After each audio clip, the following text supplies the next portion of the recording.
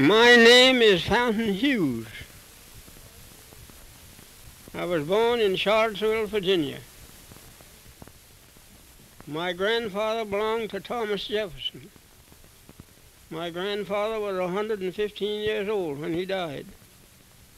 And now I am 101 year old. That's enough. She used to work, but what she made, I don't know. I never asked her. You just go ahead and talk away there. You don't mind, do you, Uncle Fountain?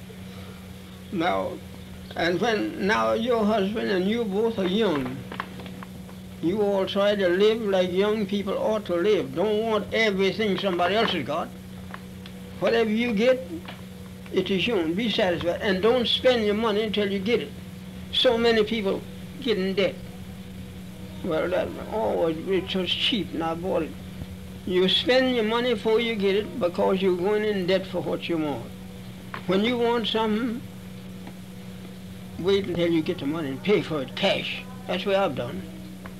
If I wanted anything, I waited until I got the money and I paid for it cash. I never bought nothing on time in my life. Now, plenty of people, if they want a suit of clothes, they go to work and they buy them on time. Well, they said it was cheap. If you got the money, you can buy them cheaper. They want something for for waiting on you for uh, till you get ready to pay them. And if you got the money, you can go where you choose and buy it when you go, when you want it. You see, don't buy it because somebody else go down and run a debt and run a bill. Or I'm going to run it too. Don't do that. I never done it. Now I'm 100 years old and I don't owe nobody five cents. I ain't got no money. I'm happy, just as happy as somebody that oh, got million.